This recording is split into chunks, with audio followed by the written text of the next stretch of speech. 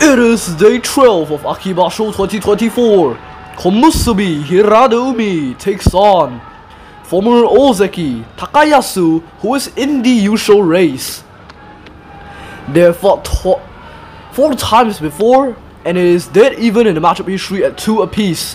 So this will not be an easy match for either man. Takayasu wants to stay in the Yusho race. Hiradoumi wants to get a step closer to getting his Kachikoshi and getting promotion to Sekiwake. However, only one man will prevail and we will see who will who it will be. Here we go.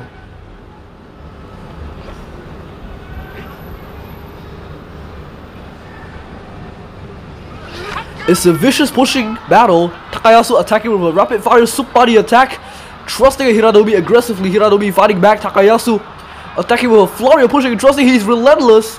And shoves Hiradoumi back and out of the ring with a solid, aggressive, and vicious super body rapid fire thrusting attack to win the match and advance to double digit victories.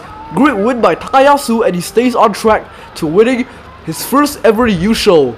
Great win by the former Ozeki and he shows great Ozeki level dominant sumo today. Great win by Takayasu.